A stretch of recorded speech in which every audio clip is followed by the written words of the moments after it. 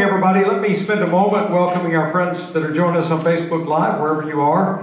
Uh, we're you're welcome. You're worshiping with us at Hope Community United Methodist Church, located in Pasadena, Texas, about about three blocks, I guess, uh, east of Preston Road and about a block and a half south of Spencer Highway. I have a few announcements to make, and for those of you that are watching online, these include you as well if you're interested in them. Uh, we're going to be having a uh, annual chili cook fundraiser in, on March the 3rd, and uh, chili is available for 10 bucks. Uh, we'll be serving it from 11 to 1 and then from 5 to 7. All orders will be prepared to go, but if you want to get your to go order and eat it here, that's okay. Uh, we're we're going to be fixing them that way.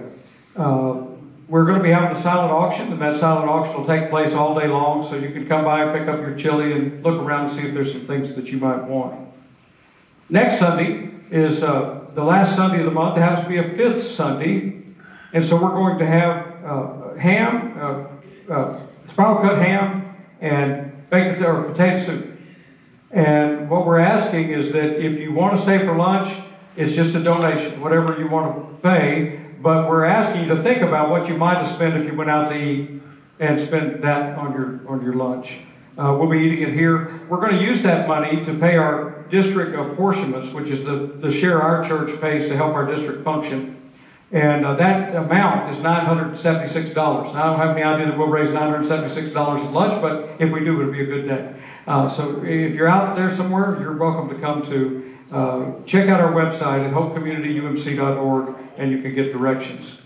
I've also been asked by some of our online viewers how they can contribute to the ministries that we do here. And those, when I say ministries, I'm talking about the, the stuff we do to feed the, the homeless, that we uh, handed out coats and blankets and all that kind of stuff. And if you want to participate with us in that ministry, but you can't be here to do it, uh, you can text HCUMC to 206 859 9405. I'll say that again. It's HCUMC to 206 859 9405.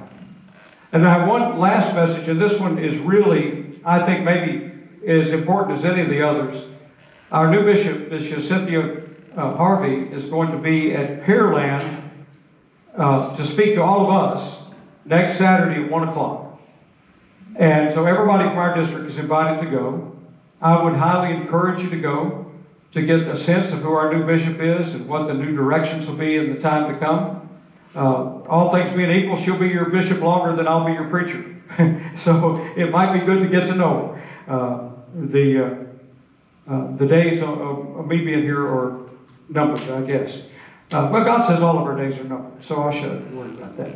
Uh, for those of you that ask about my health stuff, I don't know anything. I'm supposed to get a, a test scheduled soon, and then I guess everything depends on that. So just pray and hang in there. we'll be fine, or we won't be. Either way, we'll be okay. Uh, AJ's not here today, and so you have the great, highly esteemed honor of having me lead the singing. And so you may want to get your earplugs out, and uh, or maybe it's a good time for a nap, whichever. Uh, but I'm going to ask Ann if she'll play something to warm our hearts and get us ready for worship.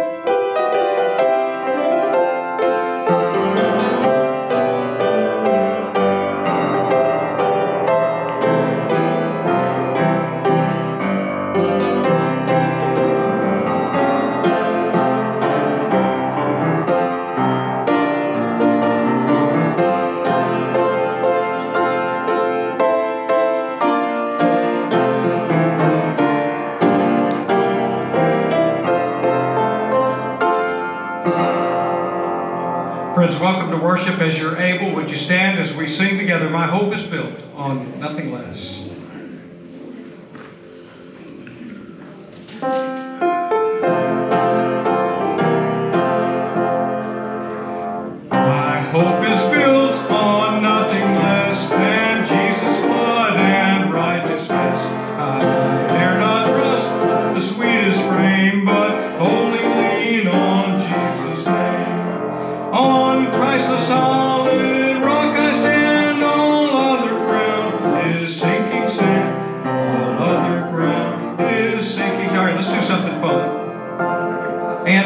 Speed it up just a little bit.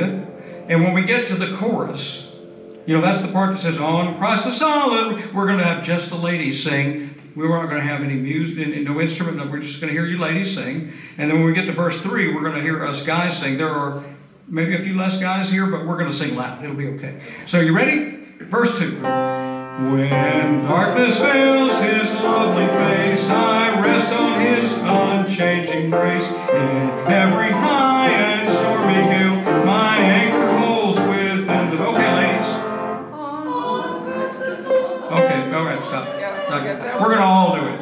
That was a bad idea. Well, it was a good idea, but it was a bad outcome. Uh, so we'll, we'll, it's okay. So we're going to all do it together, but without the, without the thing. Get us started. On Christ the solid rock I stand, all other ground is sinking sand. All other ground is sinking sand. Verse 3. His oath is covenant and his blood support me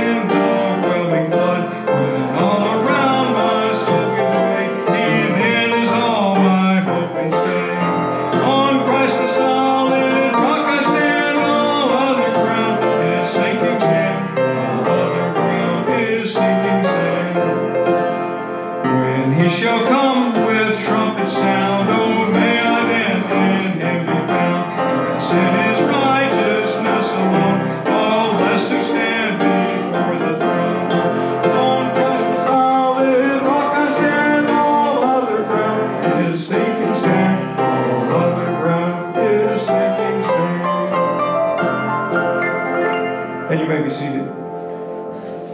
First scripture reading this morning is from the ninth chapter of Isaiah. But there will be no gloom for those who were in anguish. In the former time, he brought into contempt the land of Zebulun and the land of Naphtali. But in the latter time, he will make glorious the way of the sea, the land beyond the Jordan, Galilee of the nations. The people who walked in darkness have seen a great light. Those who lived in a land of deep darkness, on them light has shined. You have multiplied the nation, you've increased its joy. They rejoice before you as with joy at the harvest, as people exult when dividing plunder. For the yoke of their burden and the bar across their shoulders, the rod of their oppressor, you have broken, as on the day of Midian. This is the word of the Lord. Thanks be to God.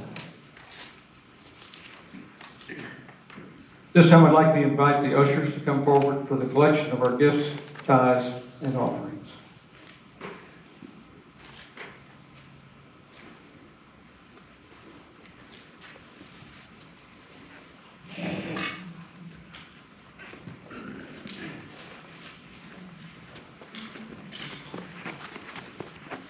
Let's pray. Gracious God, you come to us in all kind of different ways. Sometimes in the ways we expect, and sometimes in the most unexpected, unlikely circumstances. So today we pray that as we contribute our gifts and our tithes and our offerings to you, you will direct us to use them to glorify your name in this community, through our ministries, and in the world. We pray all this in the mighty name of Jesus Christ. Amen. As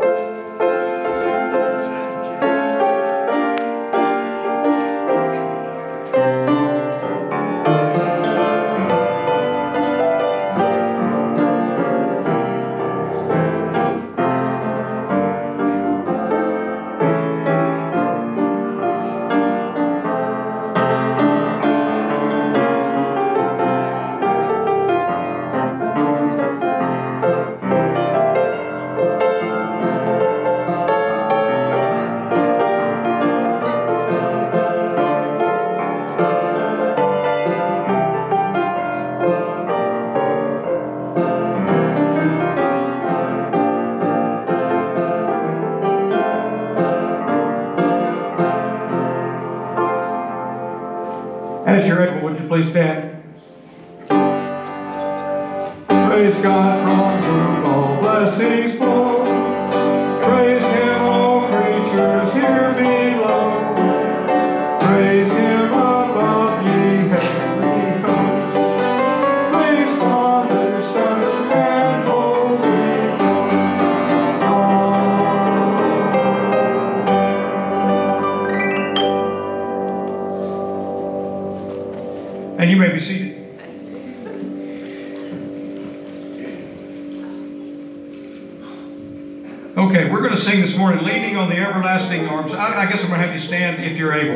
Uh, I don't know how you sing leaning sitting down. We got to stand up to lean, I think.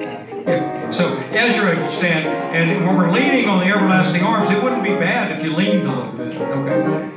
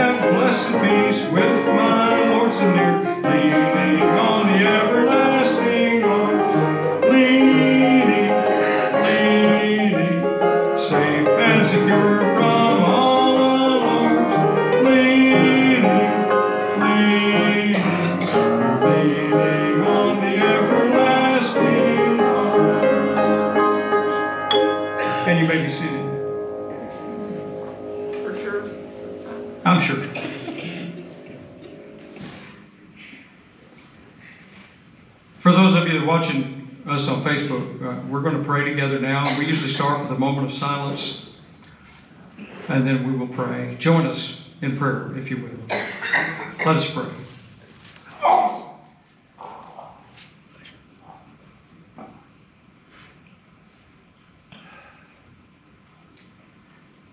Gracious and loving God, when we leave the world and we come into this place, we come to be closer to you. And we say we want to be closer to you until being closer to you leads us into places we didn't want to go. Until it leads us into pain and suffering and criticism. Because it's so much easier just to keep doing what we've always done. Today, we pray for this church that as we gather together, we find new ways to serve, particularly this community. But we also come as individuals praying God to get us out of a rut. Rescue us from decisions we made so many years ago They continue to haunt us and follow us and trouble us. Help us to realize that your call in our lives is your call, not the church's call, not the preacher's call, not the Methodist Church's call, not the United Methodist Church's call, but it's your call, God. And as you're calling us, Help us have ears to hear, eyes to see. God, following you is scary. We hear the stories of what happened to the disciples that followed you. We know about the persecution of the church forever and ever, it seems. And gratefully, we live in a country where pretty much nobody cares what we do. But God, that's the problem. Nobody cares. So today, God, we ask for your not only your blessing, but we ask you to lead us into the future. Willing to take risks, willing to make sacrifices, willing to serve you with every ounce of our bodies and our souls. So when we're afraid, God, give us power. Build us up. Help us to be less worried on the immediate results and more worried about doing your kingdom work because, God, you know, we know that you told us the kingdom has come near. In many ways, our lives reflect more of the disciples than they do of Jesus. Oh, we're willing to stand up and say, We'll follow you anywhere, anytime, Jesus, but then when it comes time, we don't. So forgive us, strengthen us, empower us to go into the new things of the future, filled with your love and your mercy and grace and the determination that you handed over to Peter when you said, Upon you I will build this church. Upon each of us, He will build the kingdom. We're thankful for the teachings of Jesus Christ. We know He really lived, we know He was really persecuted and killed, and we know He really rose on the third day. It's with that spirit that we pray the prayer He taught us when He said, our Father, who art in heaven, hallowed be thy name. Thy kingdom come, thy will be done on earth the way as it is in heaven. Give us this day our daily bread, and forgive us our trespasses, as we forgive those who trespass against us. And lead us not into temptation, but deliver us from evil. For thine is the kingdom, and the power, and the glory forever. Amen. As we prepare to hear from the Gospel of Matthew this morning, we're going to sing Surely the Presence of the Lord. We're going to sing it through twice.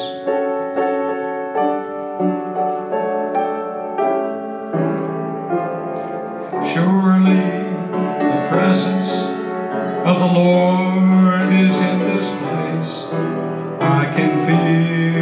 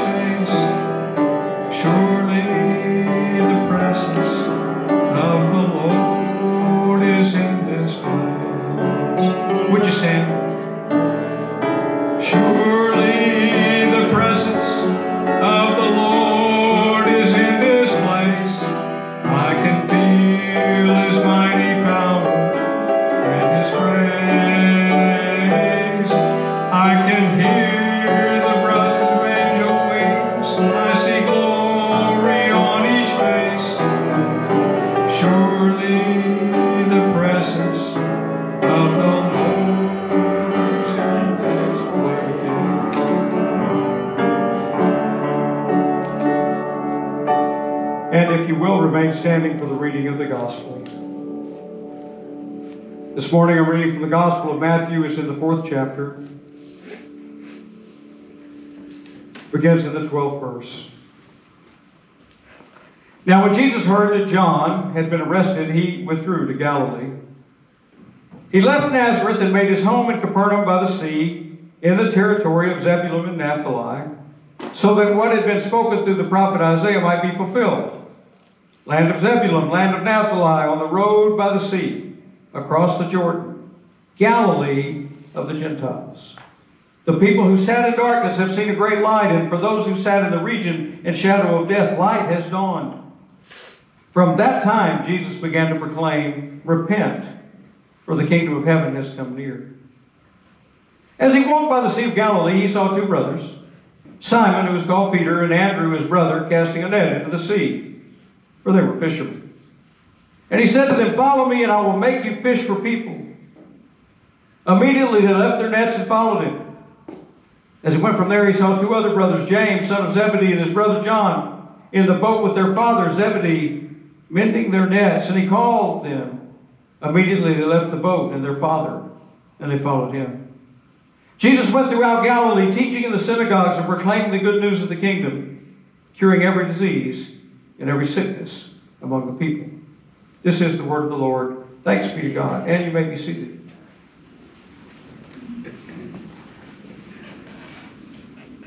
Many, many years ago now, when I was at seminary, I got a scholarship from the Order of the Eastern Star called the ESTARL Scholarship. I was invited to preach at their grand, uh, whatever they, what, help me, uh, what do you call it? Grand chapel. Now they didn't, they told me a seven minute sermon. Y'all know I don't do those. Uh, they invited me to preach a seven minute sermon. They didn't tell me what it was going to be. It was the last thing on the agenda for the like the last night. And so I got up there to preach, and, and I had prepared, and I'd been to that three years before. None of the preachers before me ever did seven minutes. But these people, a lot of them, it was 10 o'clock at night, a lot of them have been up for a long time. So I promised them seven minutes. But I had to start off with, they were using an older version of the Bible which said fish for men. And I said, yeah, if we translate that nowadays, what that says in Greek is people. Now, how many people in here go fishing? Anybody go fishing? How many of you go catching? It's not the same thing, is it? Jesus doesn't promise that we're going to catch it. He says we're going to go fishing.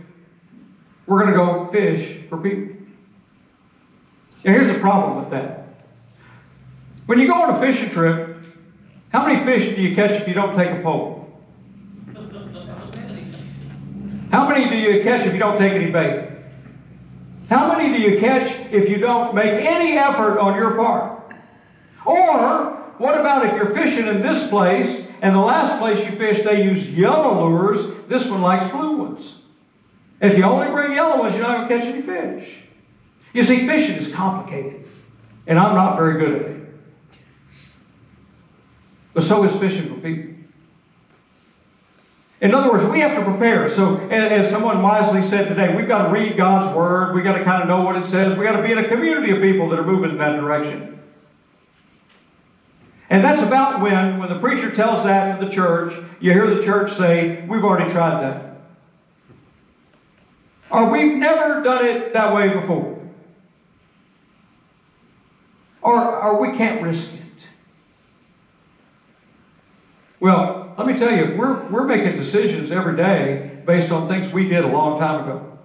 Some of us have new knees, and I got a messed up knee, and mine didn't get to be a new one. Some of us have had various surgeries. Some of us have got bypasses and all of that kind of stuff. You know, most of that is a consequence of what we did a long time ago. We are living with how we were instead of what we can be. And I mean that all of us. Me too. So, how do we get out of that rut? Are we willing to risk it for God? Because we're sure not willing to risk it for ourselves. I worked at Olin Chemical when it used to own the refinery out here, I mean, the fertilizer plant.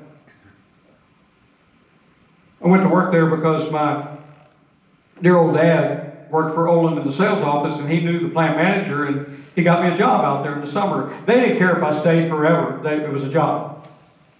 I went to work out there in the labor pool and get there seven in the morning, and that big mean foreman would come out there and tell me to move this over there and pick up cigarette butts, do all this other stuff. It took me about two weeks of being worn out, slap out, to realize that job wasn't for me. So I'm walking by the bid board, and it says, "Oh, we got dock helpers," and they made more money, and they didn't work as hard either. And you got a shift differential. Now I'm a single kid home from college. Hey, let me tell you, long changes and shift differential and evenings and midnight, it was okay with me. I got to do a lot of different stuff. But you know, when it got to be the end of the summer, I just realized that it was it wasn't my job.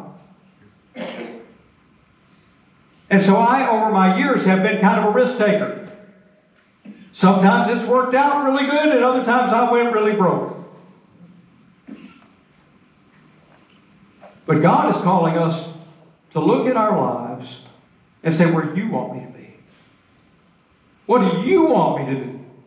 And I wonder how many of us, if we'd have done that when we were in our 20s, or if we're in our 20s, how many of us would say, God, tell me what to do? You see, I wasn't that guy. How about you? I was looking for the easiest path to no resistance. So, I'm in college. My major is elementary ed because my mother was an elementary ed major.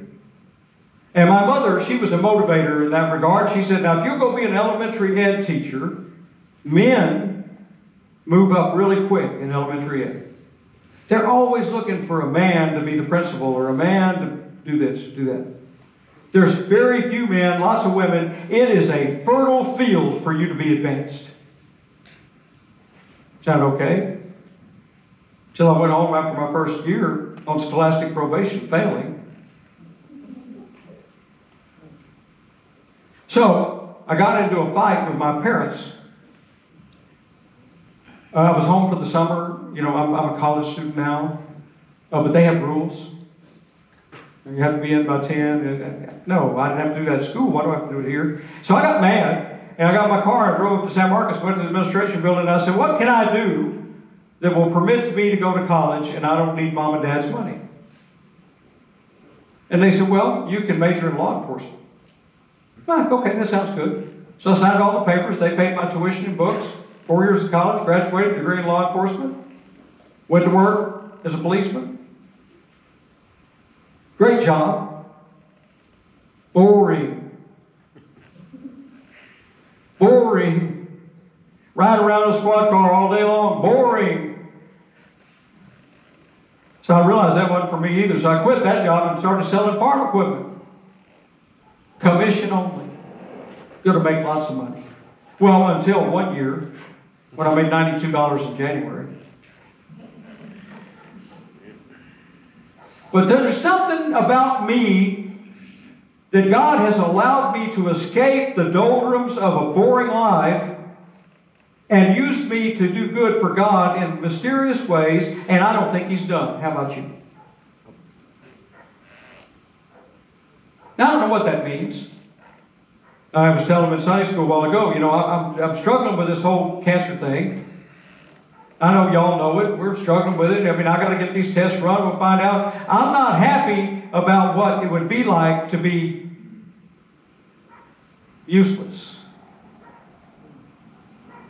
So I, I try to take that. I don't want you to feel sorry for me at all. I, I try to take that into our lives and say, how many of us have a trajectory of anything more than the same old thing?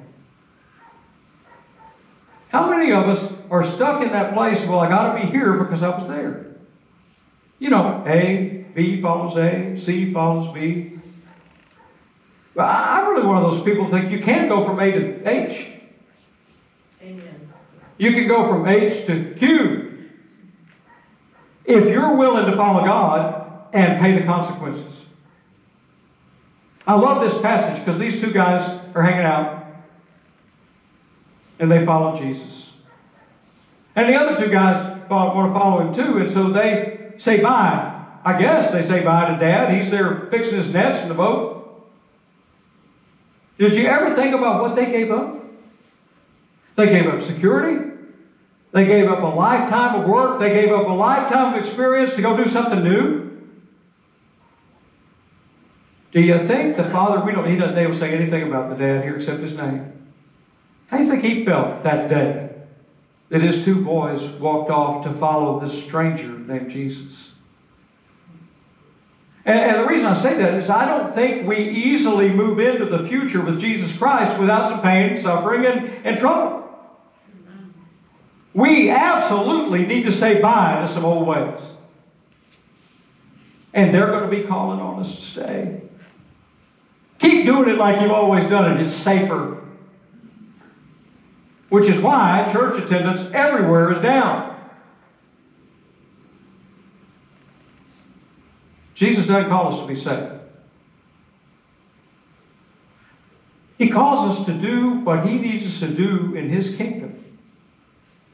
And this passage, you know, Jesus begins to preach repent and believe the kingdom has come near. This is contrary to my teaching growing up. I thought it was kind of like Santa Claus. If you were good, you get to heaven. But if I read this right, what Jesus is saying, the kingdom is here, near, right here. And what are we doing about it? People still hungry in our neighborhood? Yep. People still struggling with health insurance? Everybody I know is. People still struggling with other things in their life? Everybody I know has some struggle somewhere. Either our kids don't call us as often we'd like, or we don't call our kids as often as they'd like, whatever it is. We got struggles. Well, why do we allow those struggles to keep us from doing what God calls us to do?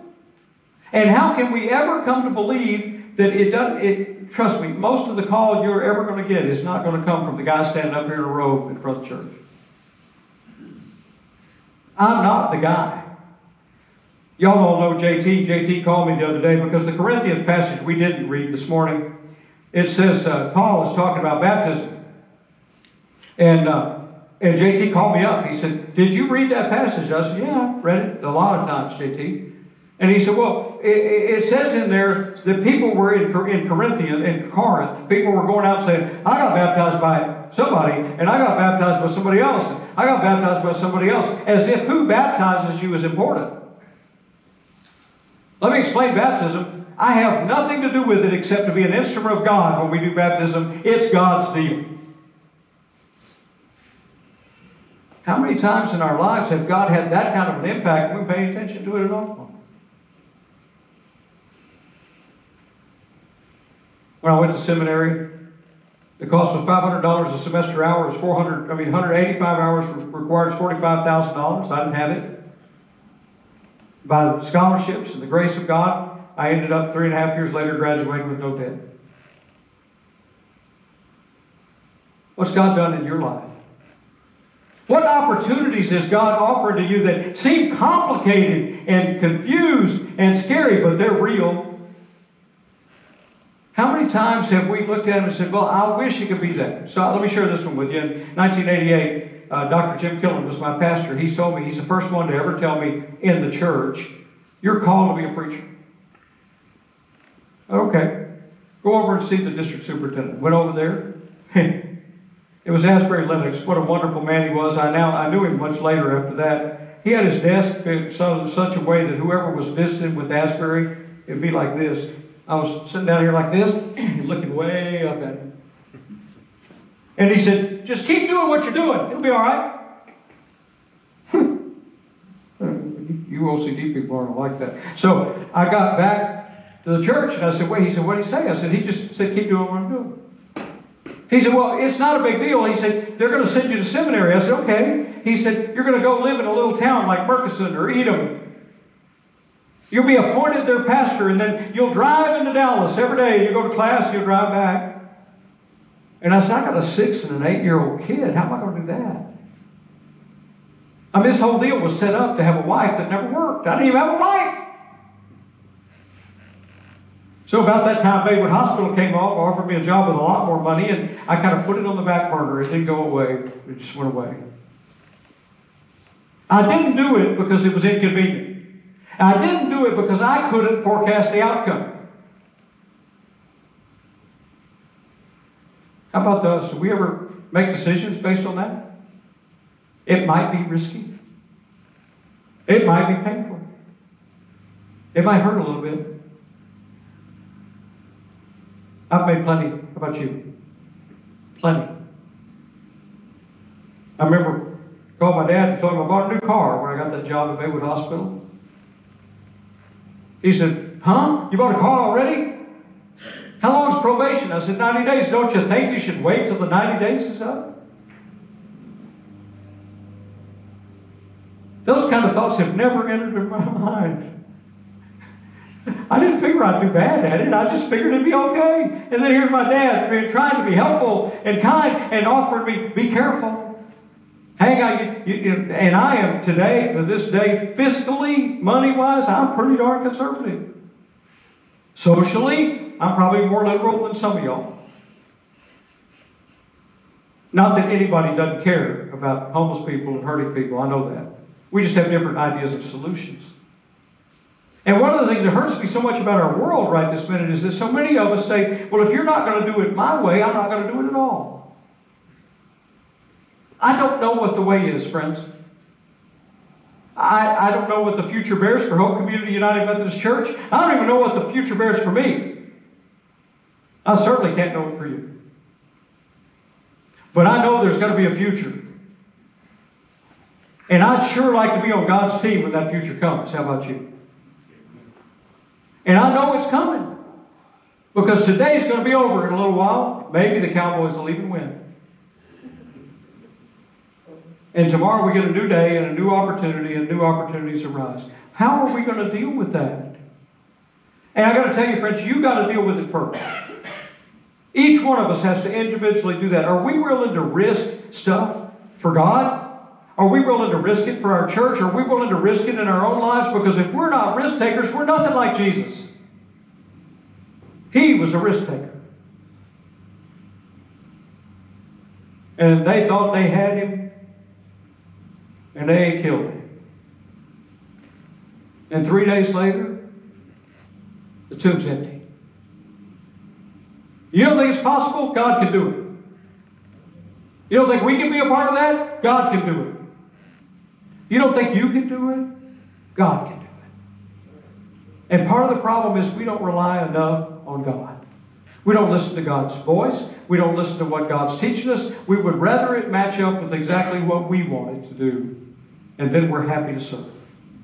Now, I'm not really talking to y'all individually here. It's, it's, it's just pointing people out. And Ron always talks about that preacher that said, Isn't that right, Brother Sam? No, I'm going to do that. But what I am saying is that the reason the church has declining attendance, the reason that because we have left the real world and gone into a place where if they'll just come to us, we'll offer them Christ. Well, let me tell you, there may be enough people like us to fill this building in the neighborhood. But what if they don't look like us?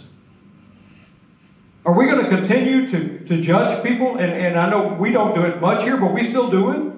Are we going to judge people on their socioeconomic class or whether they're on probation or they've been to prison? Are we going to love them? Because I believe in a redeeming God that can redeem anything. How about you? I believe God loves everybody, not just the Methodists. And what really irritates me is that the Methodists and the Baptists and everybody else, the Lutherans, Catholics, they all believe the tomb's empty. They all have the same call go out and make disciples in all the world. But why are we so afraid to do it together? Are we afraid that, well, if you guys go over and visit Asbury, you're going to like their preacher better than me, and so you're going to stay there? Is that what we're afraid of? Or maybe that's what they're afraid of. Don't send anybody over here. I don't know. I just pick Asbury because they're a sister church, but I, I, I, you know, Golden Acres Baptist is gone. It's now called New Day. I talked to a former member of Golden Acres Baptist. There are almost none of the old people going there. Where are they? Do they know there's a church in their community that worships pretty much like they did? That preaches pretty much like they did. That offers Christ pretty much like they did. I mean, for some of these people have been 50 year members of that church. Where do they go to church now? Are we finding out? Are we asking? Are we inquiring? Are we letting them know that they're welcome here? We got friends that went to United Methodist churches that disaffiliated. Do they know they're welcome here? You see, I think God loves everybody. I know that I don't love everybody, but I'm supposed to. I'm quick to judge, quick to give up. So maybe that's part of the lesson for me in the fight I get to have with cancer is not to give up. Fight back. Maybe in other things going on in the world, maybe that's all of our choices. We get to fight back. The world doesn't have to know, not know who Jesus is. The world doesn't have to have declining church attendance. It doesn't have to because God doesn't want that. It's because we haven't helped Him get it done. What are we going to do? And, and you know, it doesn't ever happen. I'd love to tell you, we make this decision today, we say, oh yeah, I'm on board, preacher, and we snap our fingers and be great next week. Uh, it doesn't work that way. It's going to take a while for us to figure out how to use our building in efficient ways because the building was designed in the 50s and nobody does church like they did in the 50s. We're going to have to figure it out. We're going to have to figure out ways. We, we, we're getting there. We made some decisions. We have another super cold night. We're going to open up the fellowship hall as a warming station. I, already, the, the police guy that deals with the homeless people has already been by the church. I didn't get to meet him, but Ron did. We're going to work with them. We're going to figure out ways to be there for people. We're going to start to do that stuff because I believe that grassroots movement is what will change the world. How about you? You believe that? It worked for Wesley. He went out to the mine and voted and preached to the miners. He went out there. The, the miners that were working in the mines were the lowest of the low in England at that time, and the mining owners were the richest of the rich. And they saw the workers as nothing but, but property. And John went out there at the encouragement of George Whitefield, and he started to preach and tell them, You have value, as much value as the mine worker. And it was shocking. Do you think these guys and girls riding their bike down here think they have value? I don't know. Couldn't we tell them they do? You know, when, when it gets to be summer, we can sit out there and hand out water and talk to them because there's a pretty steady strain coming through. That's what God's putting right on our front step. What are we going to do? When are we going to do it? So I want to tell you, next week we're having ham and soup after church. I think it includes anybody. If you got a friend or somebody that you don't know, somebody that you do know or don't know that doesn't know what church is about, tell them to come. They don't even have to come for worship. They get here at noon.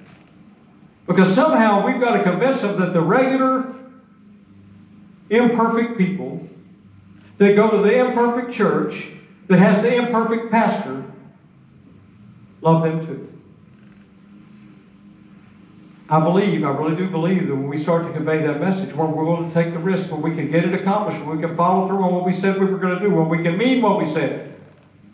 Because I want to tell you, there's been a bunch of them out there. They told a lot of stuff, and it never happened for them. I told you about Ray that I met at the pumpkin patch. He said, I pray on my knees every night. And I'm still living in my car. Well, okay, Ray, get a job too. Find a way to do something different. You got you can't stay doing what you've always done and see all of God's blessings. It can't happen. It never happened for me, and I don't think it's done yet. How about you? So I'm encouraged by this passage about being that dad that's sitting there in the boat. Guy walks by and calls his two workers to come with him. They get up and go. They give up their traditions, the things they've learned to do, their, their livelihood, and they follow. And, and I just don't know why we don't get to hear what dad thinks. Because I can tell you what my mother told me when I told her I was going to the ministry. You don't want to do that. They don't make any money. I love my mother, but that was exactly what she said. She had a, it was it was it was categorized in socioeconomic levels. Dr. Muzan Biggs, who was my favorite preacher of all time and friend, both of his doctorate degrees were honorary. An honorary degree simply means that somebody gave it to you. You see them on TV now and then. Every time my mother would talk about him, Dr. Biggs, but his degrees are honorary. He didn't earn them. You know, that primary process, that stuff you grow up with, it, it takes a long time to get rid of it. It takes a long time to leave that stuff behind. It didn't take these two guys any time. They got out of the boat and went. They could have said, well, wait a minute, Dad, you need us to stay. How, how, how will we be able to provide? But they trusted God and they went. They believed. My friend, my question to you is do you believe? Do you believe that God's calling us? That it's worth the risk? That God can always make it work? In the name of the Father, and the Son, and the Holy Spirit. Amen. Oh, I gotta go be this person now. So as we close our service today, we're going to sing freely, freely.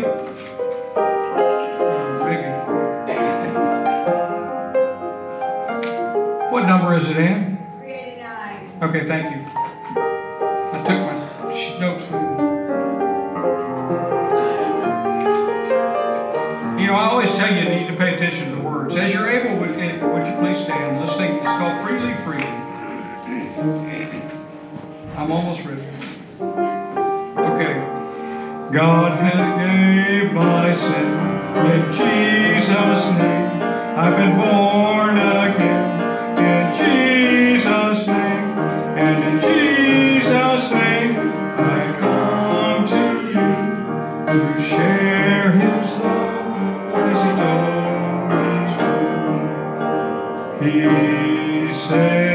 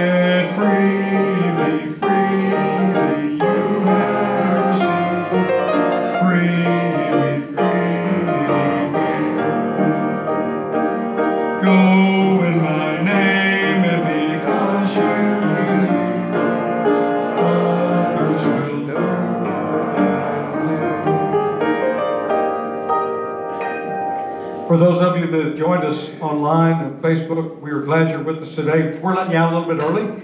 Uh, we do that sometimes. Maybe it was a seven-minute sermon today. You never know. Uh, we're grateful for your attendance with us, and we're glad you were here. It means a lot to know. We'll get to see those numbers later. It's always surprising. For those of you that are in the room, God's calling us. I wish I could tell you what He's calling us to do and when. I, I wish I could tell you what the risks are and how much it's going to cost and how it will change. I can't. Some of it is likely to be painful. Some of it may create some suffering for us as we struggle through. But I believe God wants the church on this corner. I don't think we're going to go away. I think God wants me to serve Him, and I think God wants you to serve Him. So as we remember that God created all this stuff, it must have had a purpose. Jesus taught us how to love and show mercy and grace. Maybe we should do it. And we're promised that the Holy Spirit will give us the power to offer Christ wherever we go. So, friends, go in peace. Amen. Amen.